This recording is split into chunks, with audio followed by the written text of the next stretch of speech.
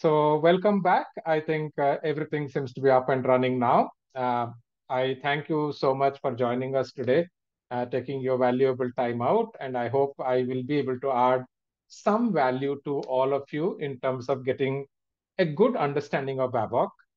Uh, I have been studying Babok for more than 12 years now. So first time I came across Babok, it was version 2, and the year was 2012 uh, when I was planning to take my CBAP exam. Over a period of time, Babok has changed. Uh, so it is a new version now, uh, which is 3.0. And my understanding of Babok also has evolved over a period of time. Uh, many of you may know me. Uh, my name is Ellen Mishra. I'm the principal trainer and business analyst at Adaptive US. I have been performing this role for more than 25 years now. So the first business analyst role I played was in the year 1996. That's about exactly about 26 years from today, 26, 27 years. Uh, and I'm also the first business analyst in the world to complete all seven IIBA certifications. And I have mentored, guided more than 1900 BAs to get IIBA certified. So hopefully I'll be able to answer most of your queries on the topic. So let's get going and let me ask one simple question. Uh, so where are you guys joining from? Anybody from Africa, Europe, anybody from Australia? That would be really interesting to see. So where are you from?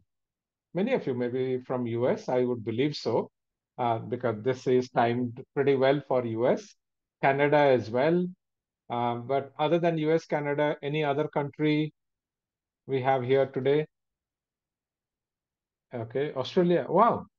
Actually, there is somebody from NSS has been a very strong supporter of our webinars. Thank you, NS, for joining. Uh, Nikhat is from London. Okay. Uh, Amir is from South Africa. Sam is from NYC. Ah. Lucas is from Warsaw. Okay, Naman is from India. Wow, South Africa, Bangalore. Wow, I think we seem to be covering quite a good number of continents. Um, so we have Africa covered, Europe covered, North America covered, uh, Australia covered as well, Asia covered. So that's nice. Anybody from South America? Yeah, that's one continent I don't see much people joining. And that has been a strange thing for me because is it language? Oh, there is somebody from Peru. Wow. Wow, Roberto. Uh, good. Emerson. Oh, hi, Emerson. Good to see you here. Okay. Emerson happens to be one of our past students. Um, so some of you are um, from the part of adaptive family itself.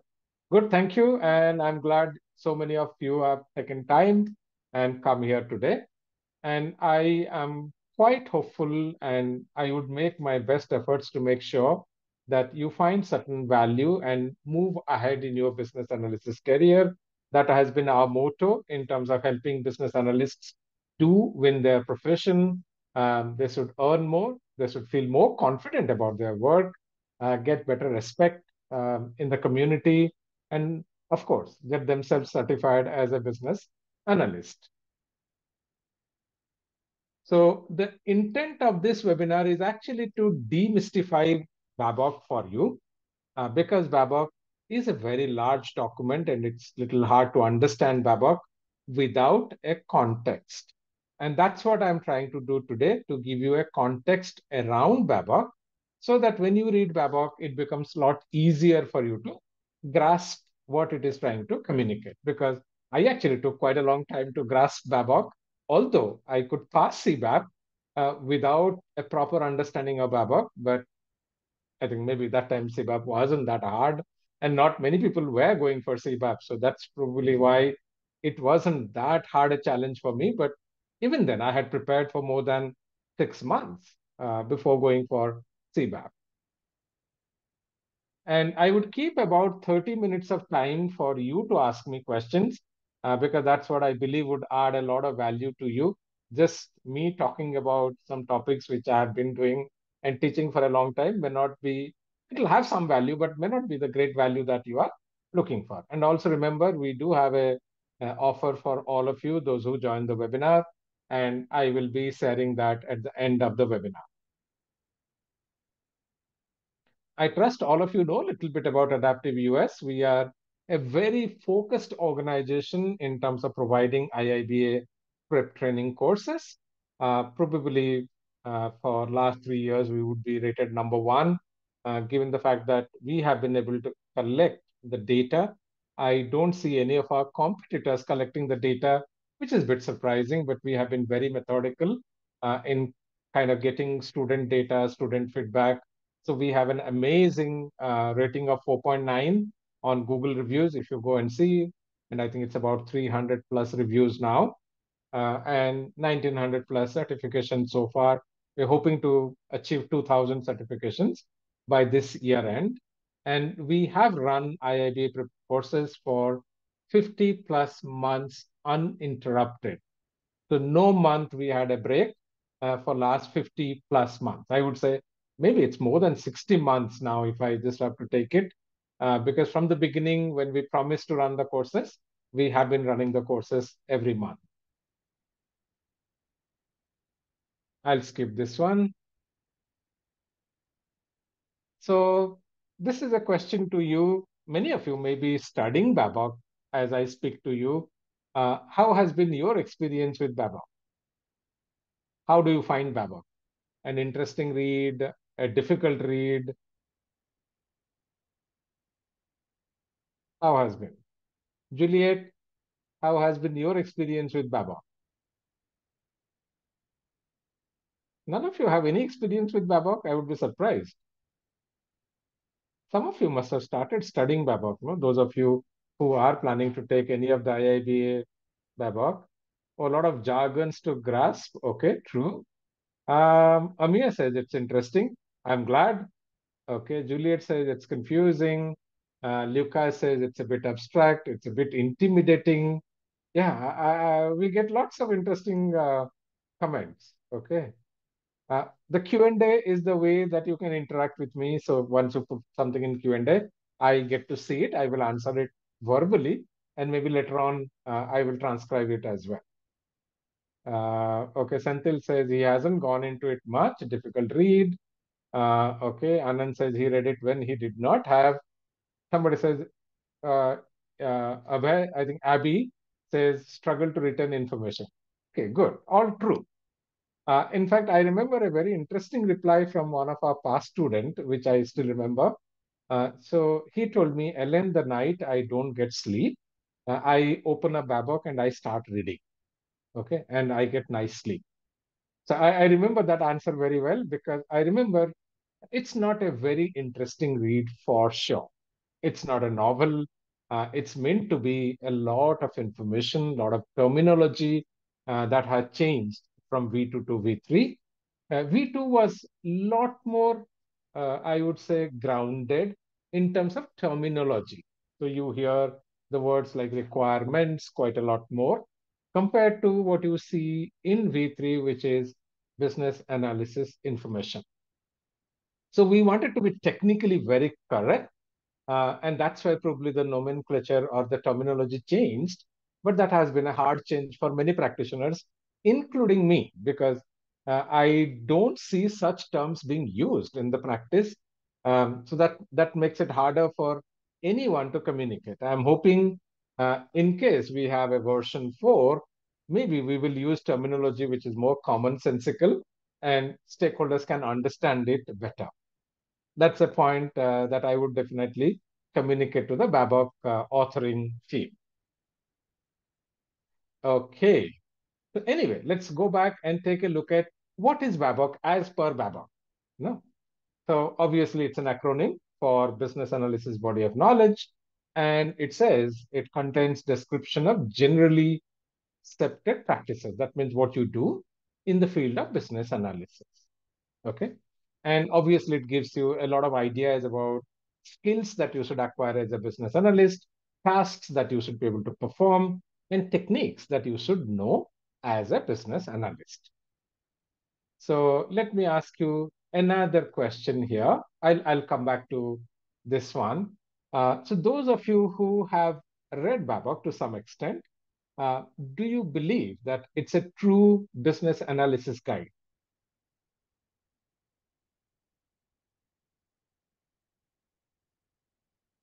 What is your opinion? Is it a true business analysis guide? Let me see. Yeah, many of you say yes, yes, yes.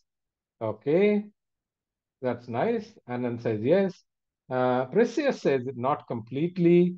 Okay, to some extent. Okay, yes. Okay. So if you hear the word analysis, what does it mean? Analysis means analyzing something. So obviously, when we are looking at business analysis, we are trying to analyze a business. Hmm? So just wearing a little bit of a consulting hat because that's how I started my business analyst journey. Uh, in my personal opinion, and I strongly vouch for it, a, a true BA guide should contain ways to analyze business performance. How is the business doing today? Is it doing well? Uh, how is the performance getting better, worse? Okay. It should also analyze impediments to achieve our business goals. So every business has a goal, has an objective. What are the impediments in our way to achieve them? Identify key risks to business. No, because businesses are constantly um, evolving, changing the the context is changing periodically, and if businesses don't understand the risks and opportunities both, no, so, for example, if you see AI is causing a lot of disruption to businesses. So, if you are a business uh, and maybe your business will go away, for example, think of call centers as a business. No?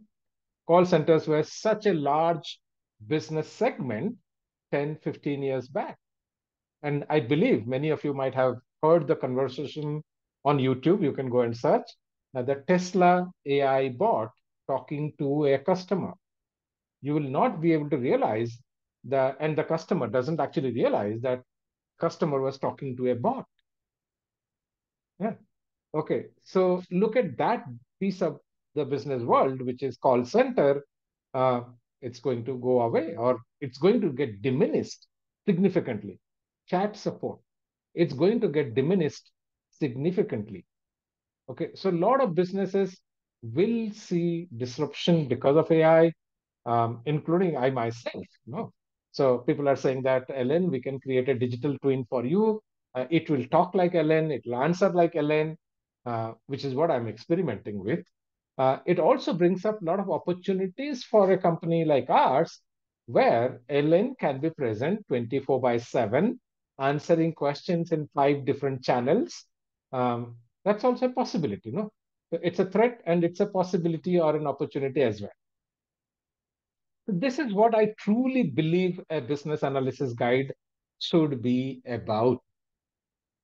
And Babok is very little of those aspects. So you must be wondering, how come we are calling something as a business analysis standard or a guide, and it hardly covers the major parts of business analysis. So I'll tell you a little bit of history about uh, Babok and how did it evolve. So it actually evolved from the SDLC. Okay, so you must be thinking, how come the Babok evolved from SDLC and why from SDLC? So let's realize that in last 30 to 50 years time frame, the software as a business, software as a solution, has been gaining a lot more traction. No, you you all see, no.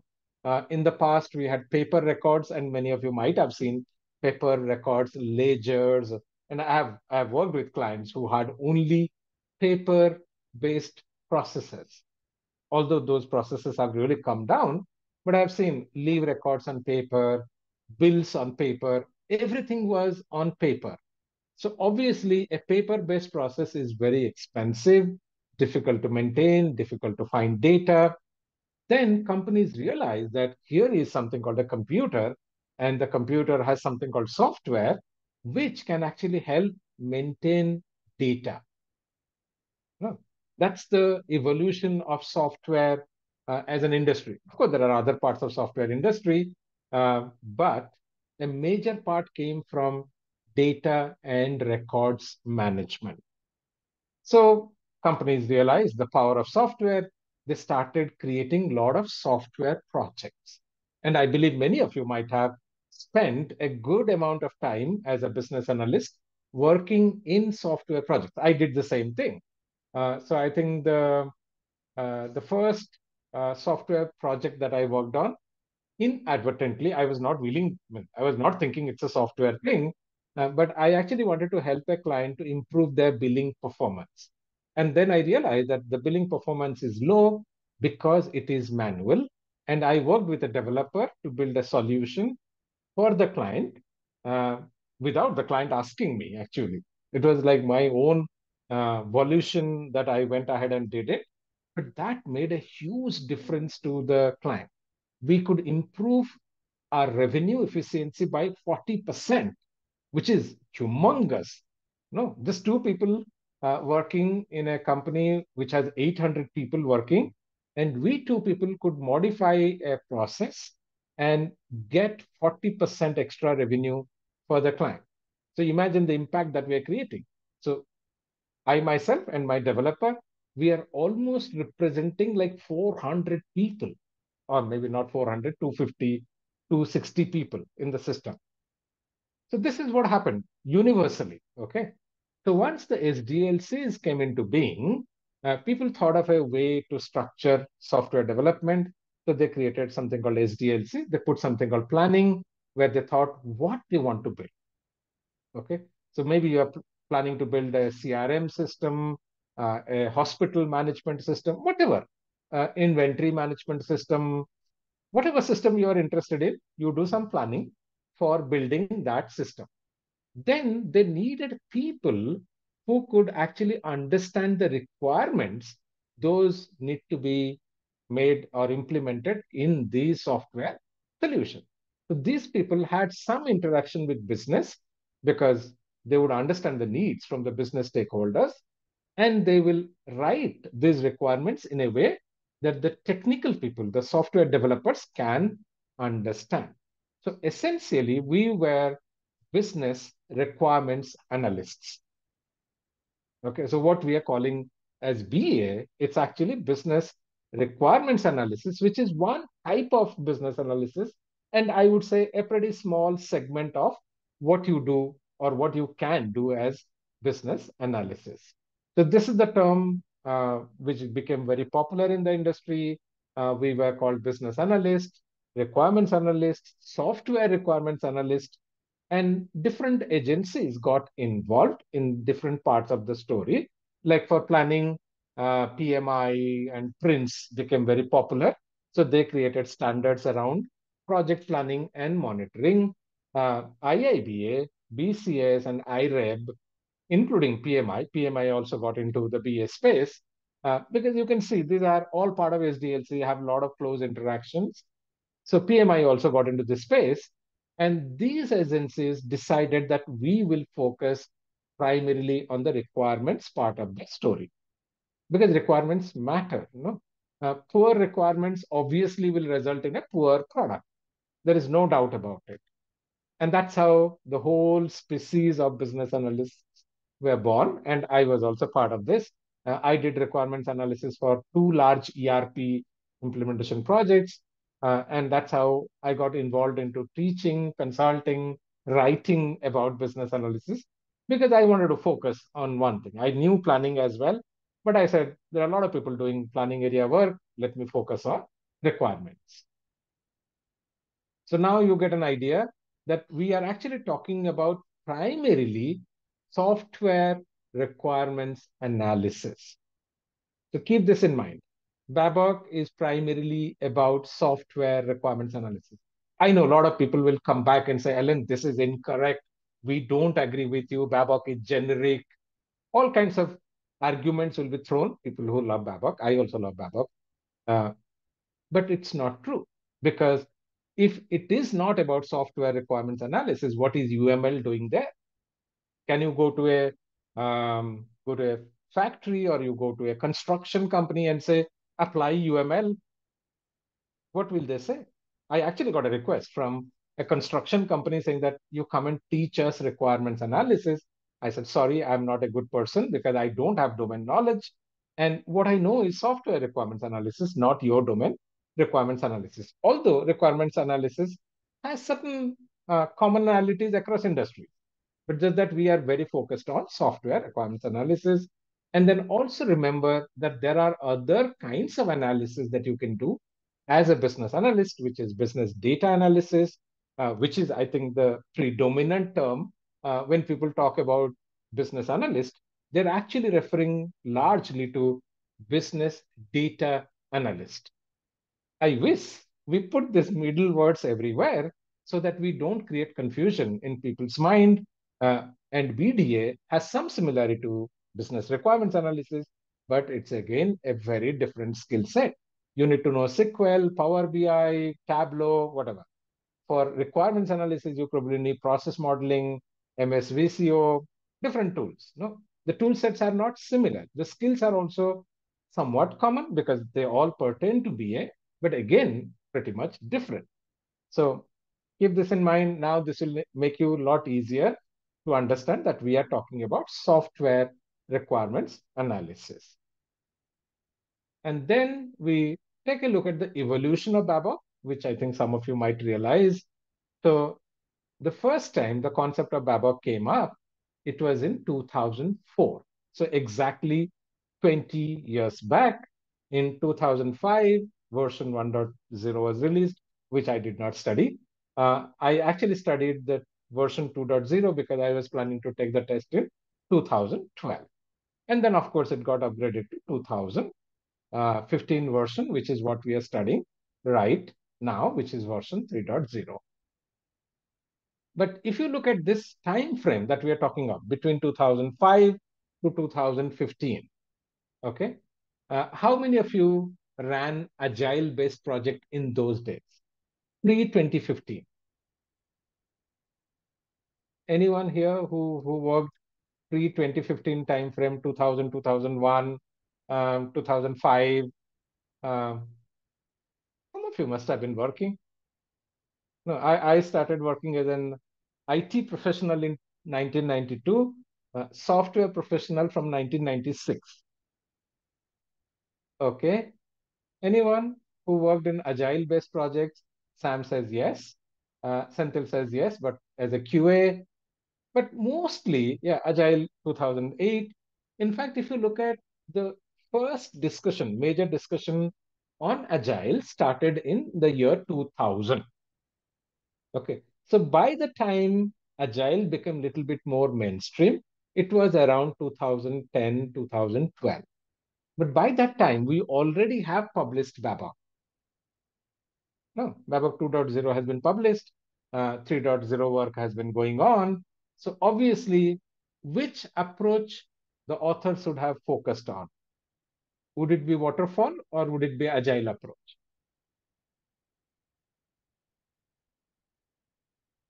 Which one? It's a very sensible question, no? We were in the waterfall world, no? So obviously, Babok is more waterfallish or agile? Okay.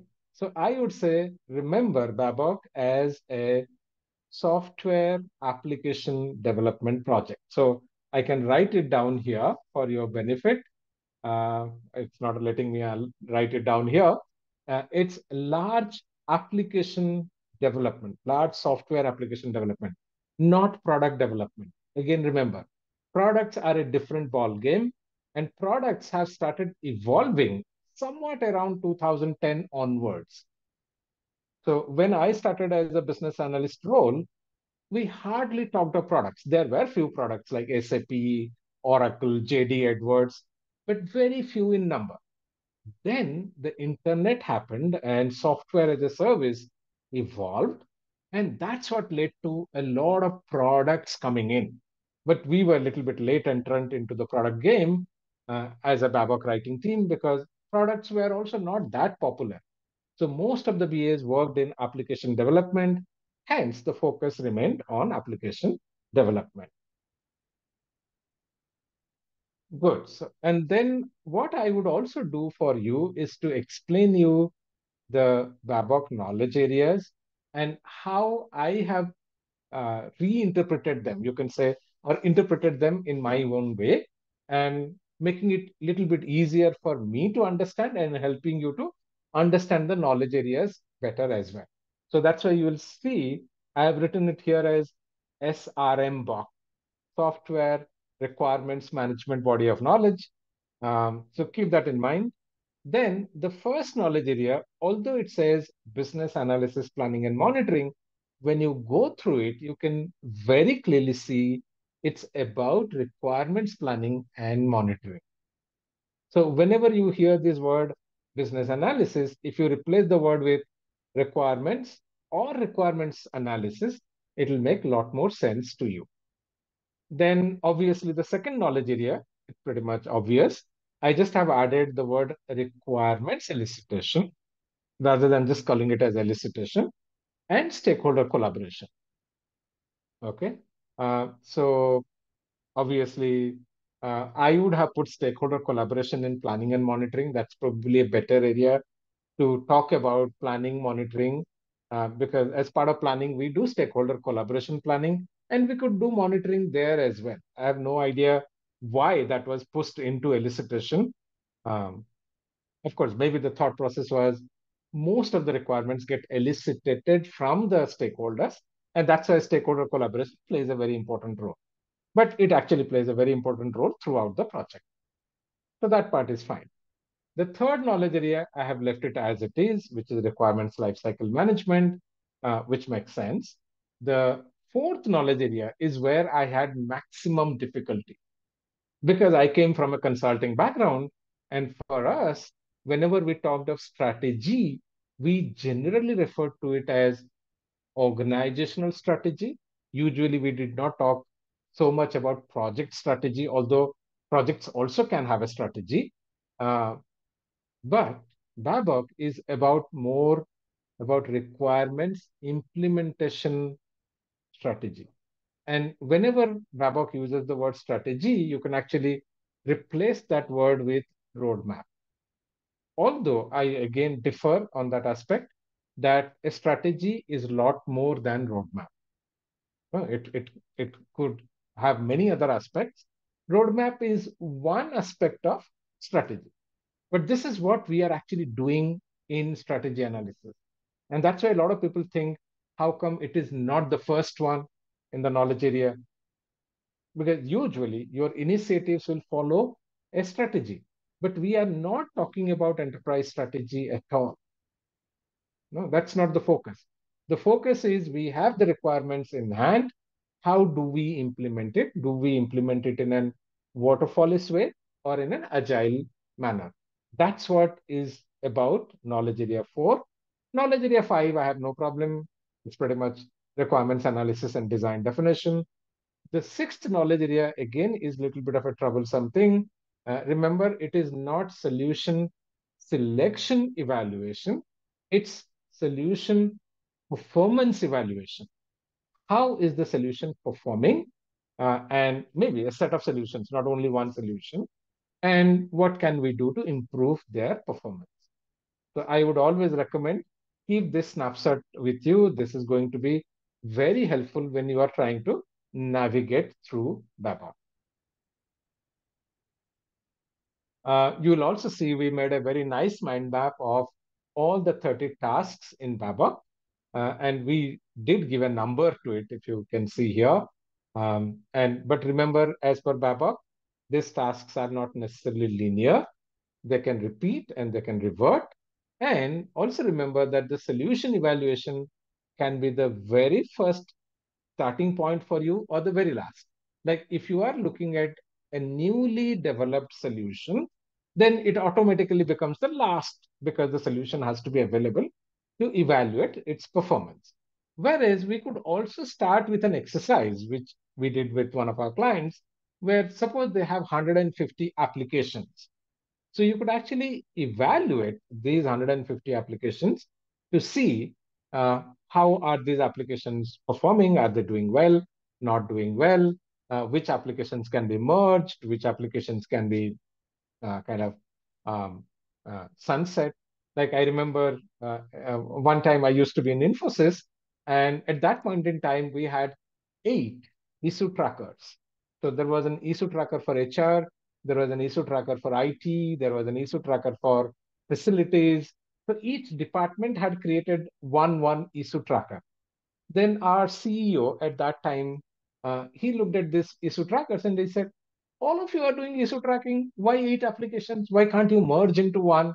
That way your cost of developing and maintaining the solution actually comes down. Uh, so I remember that example very well.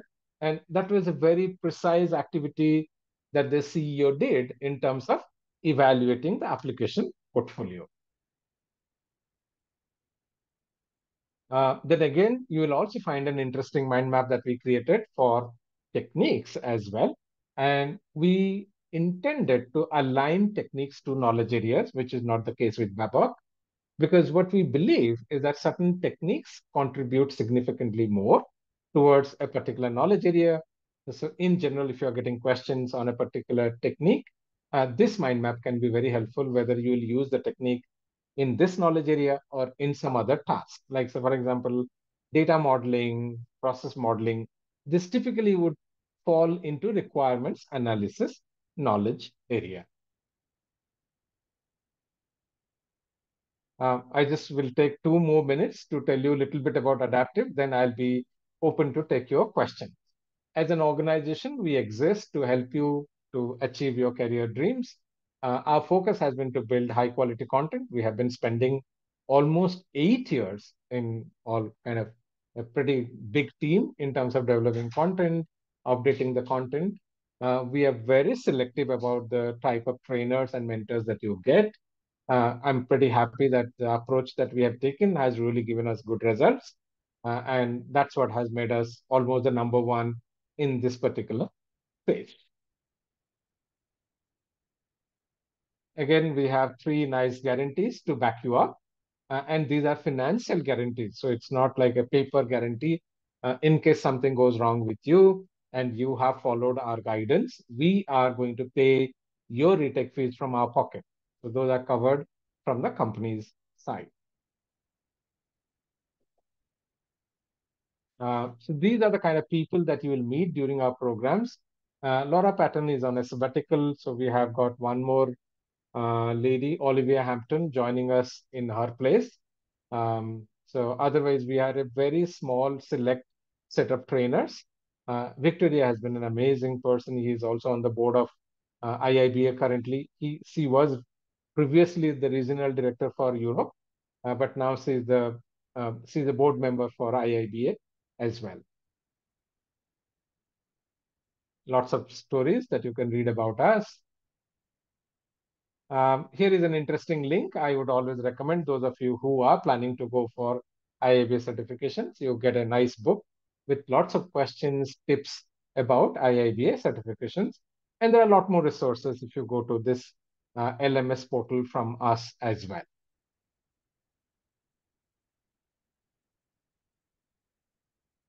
Uh, so please take a note of the webinar coupon. Uh, it's ADA Web 2409. Um, so you can ask whenever you are enrolling for a course you can give this code and that will automatically allow our CS folks to extend your access by a month without any extra payment. Good, that's about it. And I trust I took about 35 minutes. Uh, my target was 30 minutes, so it, it's okay. Um, so uh, it's your time now, so you can go ahead and um, um, ask your questions now.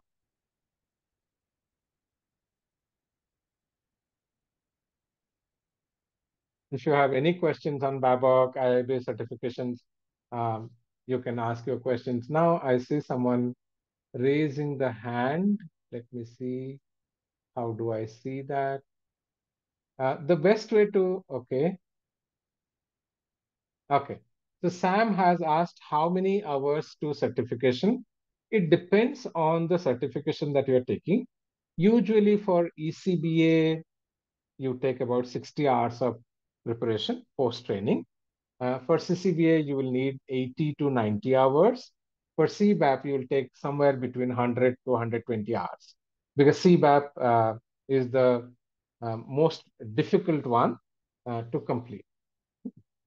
Uh, Alok has a question saying how to prepare for CBAP. Uh, I can do one thing. We do have, uh, oh, Alok is already ECBA certified.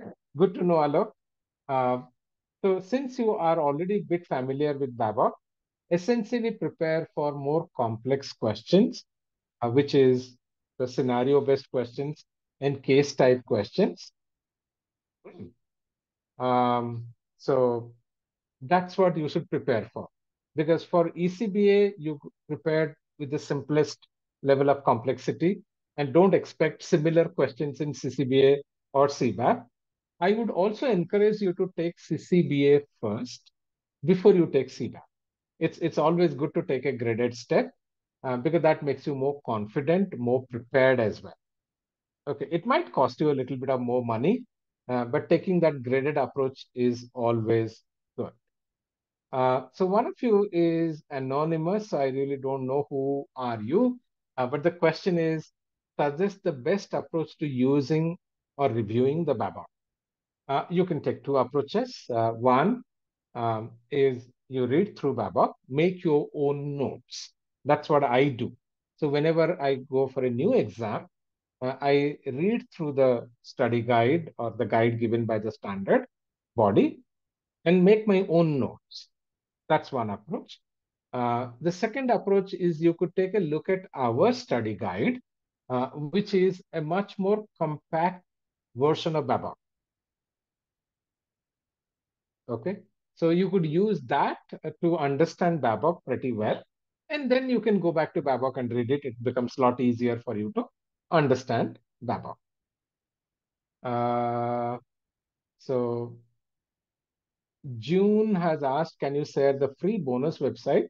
Uh, okay, so is this what you are referring to, June? I would trust so. Uh, it's thinkific.adaptiveus.com. That's our learning portal. Okay. Uh, Alok, uh, the works history part, we do guide students when they go through the training. Uh, there is a template that we have designed that's available to our students. Uh, it's pretty much self-explained. So if you look through the template, it will guide you how to fill up work history for CBAP. Uh, Juliet is asking what is the cost of CBAP certification preparation. Uh, we have three products in that CBAP certification. Uh, the lowest one starts at $400. Uh, that's mostly our study guide, question bank, and simulations. Uh, then you can get an extra support from faculty members.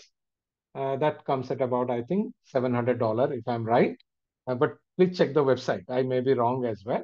And then there is a product at 949 which comprises of the content plus 32 hours of teaching plus 12 office hours as well. So that's the most comprehensive product that we have. You can also buy exam voucher through us. Uh, and when you buy the exam voucher through us, you do get a little discount on the exam fee as well. So if you buy directly from IIBA, it comes to you at some cost. Uh, with us, you get probably about $80 off on your IIBA exam fees. Uh, but that you get that benefit when you are a student. Okay, then uh, Aramide has a question. Uh, the study guide is part of our self-learning product. So if you want to access the study guide, the self-learning product will give you that. Along with that, it will also give you uh, past lectures, the video recordings, question bank, everything comes together. Uh, ah, Purong has a good question. Uh, if you are already coming from a business background, uh, you need to understand bit of technology, which we do cover in the program as well. Uh, some bit of understanding in terms of data structures, data models, um, program flow. So these are things that you need to learn uh, because usually developers need help at that level. Like how do you define proper user interface requirements?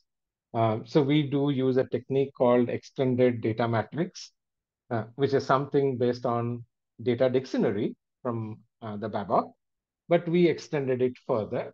Um, so you to learn these techniques, learn these techniques that will help you to communicate better with your developers. That's a journey. It doesn't happen overnight. Uh, but what benefit you get by going through a structured program is what would have taken you about a two years time frame to learn. Uh, maybe you can learn it in three months. Um, Alok has a question, how does Babok audit work history?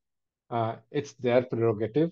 Um, if they perceive that your work history may not be right, uh, they may ask for references.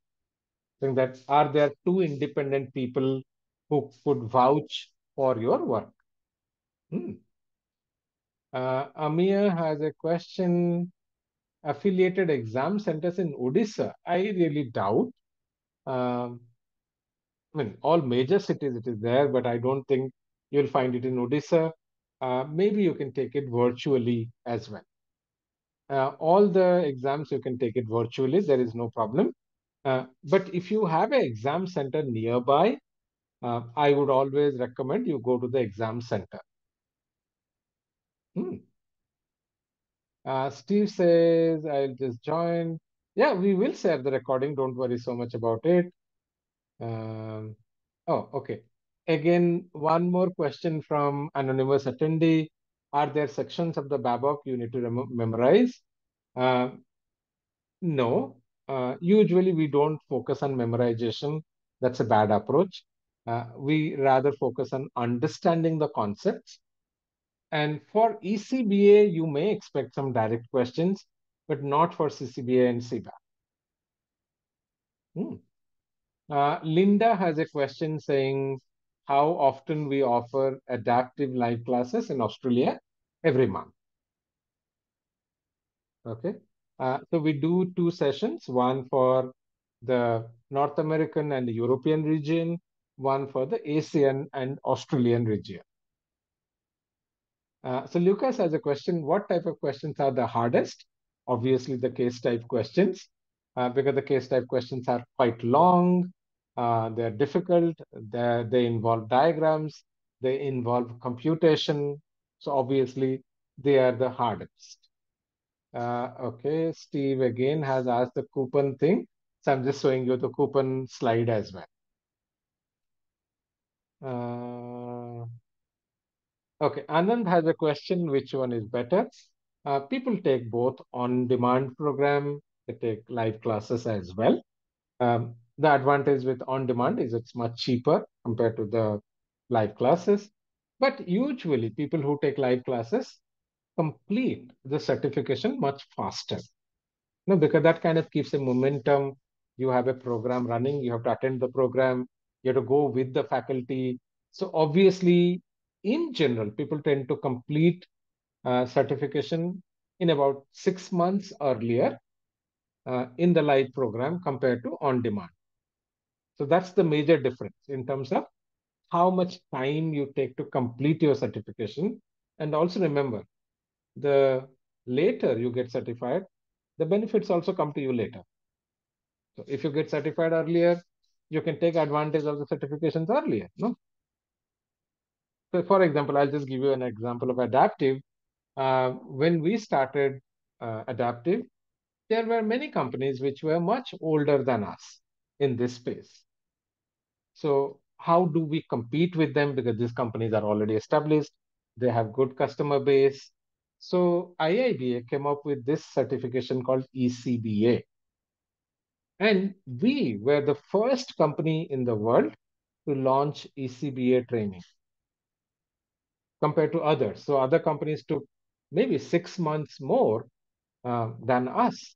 And because we were the first company to offer ECBA training, people who were looking for ECBA training, they had no choice, only adaptive. And that's how we made our name because others were simply not offering. Similarly, uh, if you are certified, you generally get tend to be picked up little earlier compared to those who are not certified.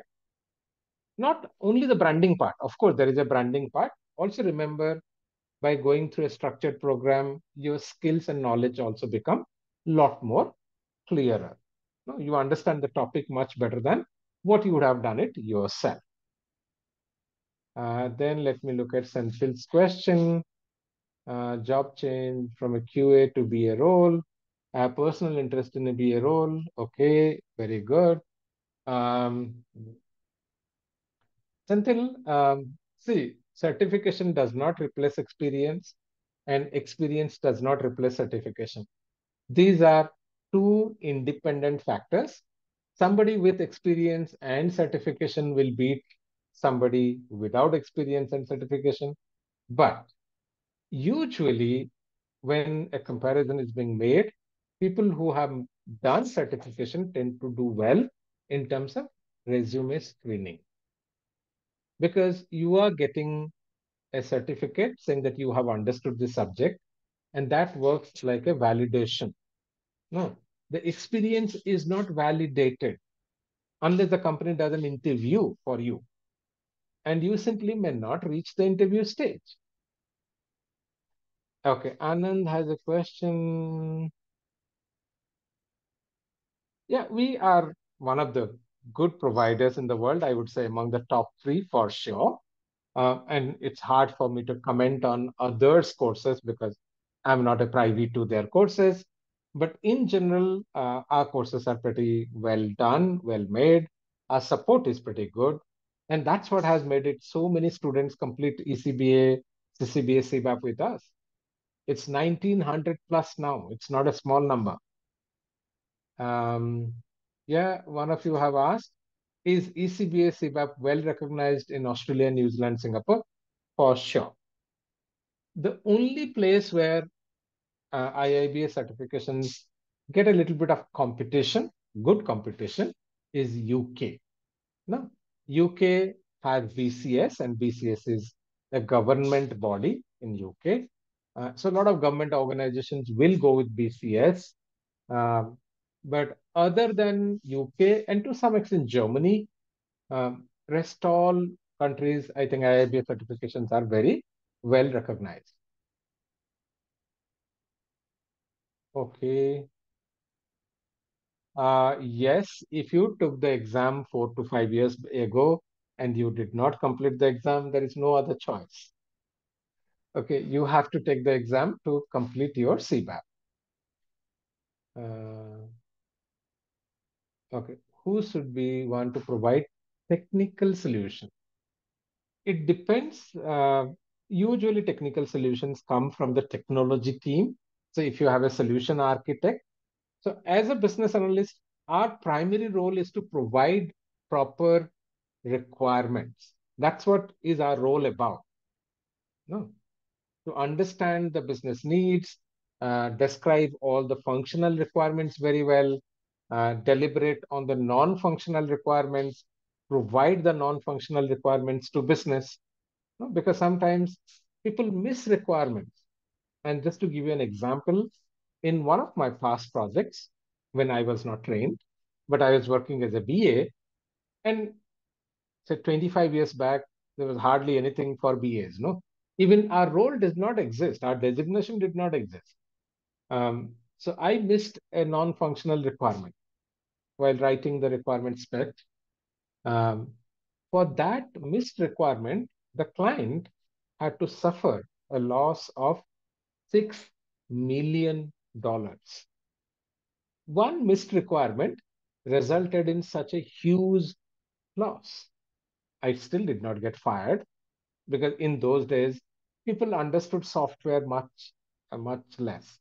And because this was a $400 million project, the $6 million we could observe, no? because it's a large project. But imagine if your project was only 12, 13 million dollar and you lost $6 million in one requirement, the project would have been abandoned actually.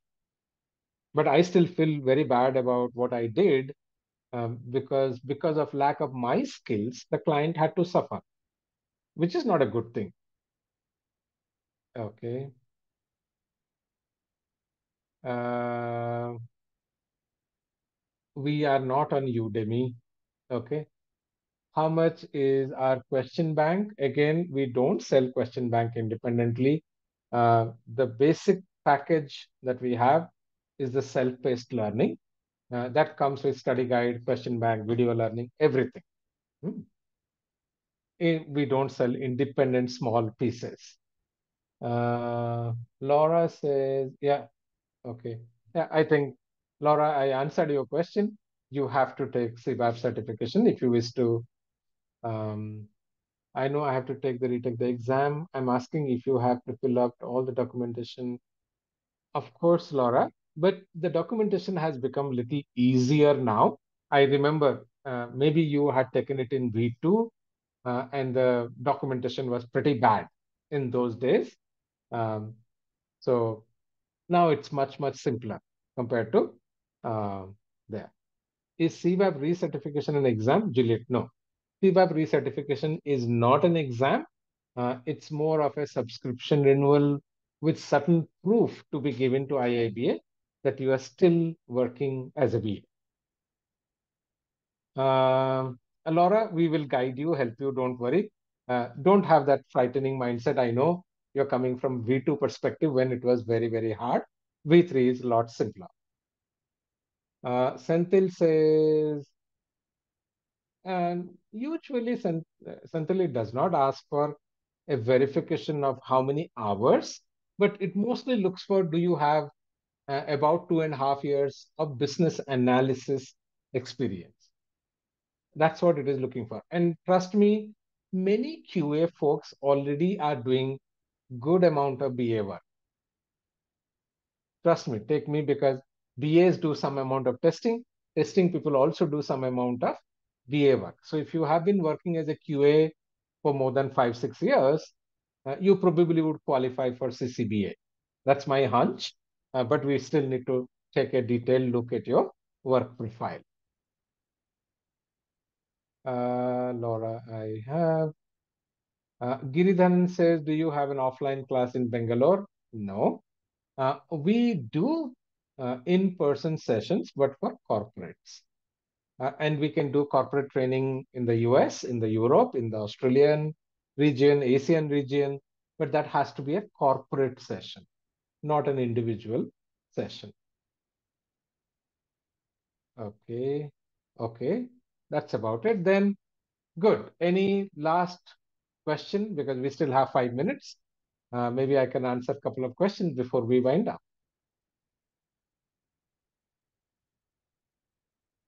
No? Okay. Uh, just to give you an update from IIBA, which I received today, uh, there is a 15% off on IIBA exam fees uh, if you file the exam or take the exam. I'm not very sure, but there is a 15% off on IIBA exam fees till 30th September.